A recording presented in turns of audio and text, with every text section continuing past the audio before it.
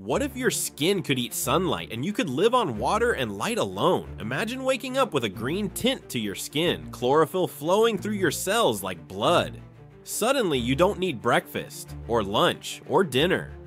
Your body feeds directly off sunlight, turning you into a walking solar panel. At first, it seems like paradise. World hunger disappears overnight, but then the inequality begins. People living near the equator become superhumans, thriving in constant sunshine. Those in polar regions start weakening, desperately fighting for any scrap of light. Cities turn into battlegrounds over rooftop access and mirror rights. People become nocturnal to avoid overcharging their bodies with too much sun. The food industry collapses. Restaurants become museums. But here's the terrifying twist. You become a slave to the sky itself. One cloudy week could kill you. A volcanic winter means mass extinction. Climate change isn't just about rising seas anymore. It's about your immediate survival. Would you choose a sun-powered body, or is life under the tyranny of daylight too dangerous?